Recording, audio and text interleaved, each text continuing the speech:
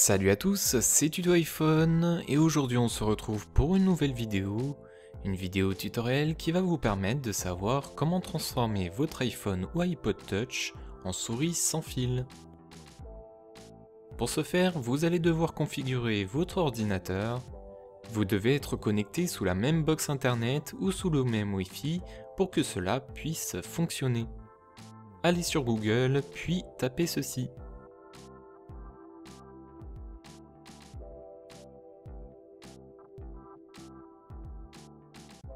Ensuite, allez sur le premier lien disponible. Puis cliquez sur Get Now.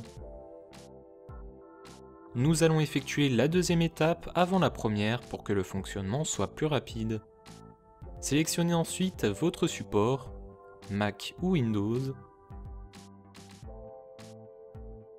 Enregistrez le fichier puis effectuez l'installation du logiciel.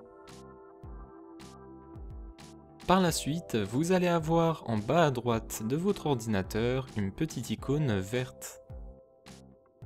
Ensuite, allez sur votre appareil iOS pour accéder à l'application dans l'App Store.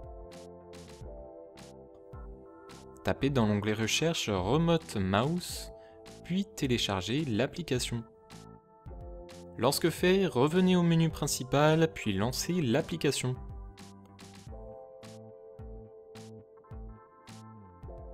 Vous pouvez accepter ou refuser les notifications, c'est comme bon vous semble.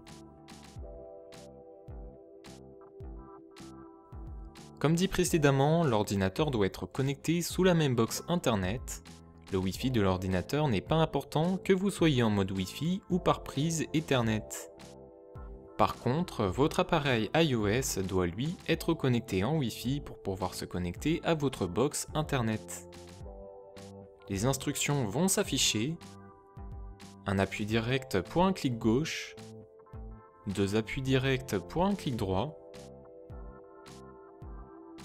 deux appuis comme indiqué pour défiler la fonction ascenseur de l'ordinateur,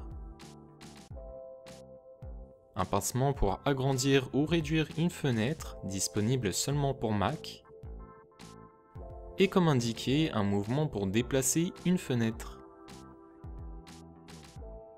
L'application propose aussi un semblant d'interface des boutons clic gauche, milieu et clic droit. Si vous avez plus de souris en main, cette application est vraiment pas mal. Pas facile à prendre en main au début, mais au fur et à mesure du temps, on s'y améliore.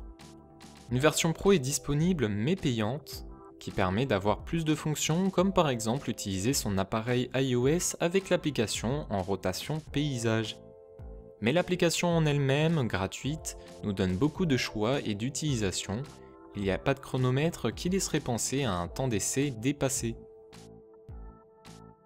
Et voilà cette vidéo tutoriel est terminée, j'espère qu'elle vous aura plu. N'hésitez pas à commenter, à partager, à liker ou bien à vous abonner à ma chaîne YouTube. C'était Tuto iPhone, je vous laisse, à la prochaine, salut salut